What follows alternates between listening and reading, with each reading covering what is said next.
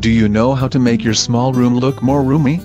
Designing a room requires a great deal of factors to take into account. First thing you have to consider is the space. Are you looking for a design that will fit a small or a large room?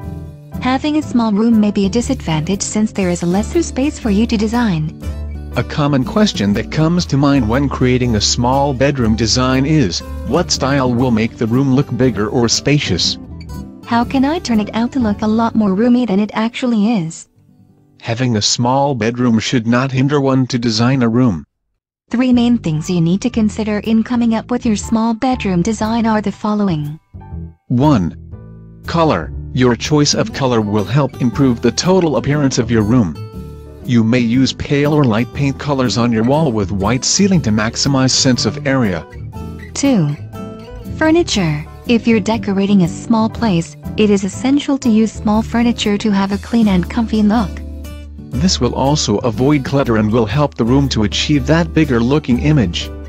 Furniture arrangement should also be considered. You may place your bed in the corner of the room or one side against the wall. 3. Storage. Wall-mounted shelves is perfect for small bedrooms. You can virtually put items and other things in there, even your books.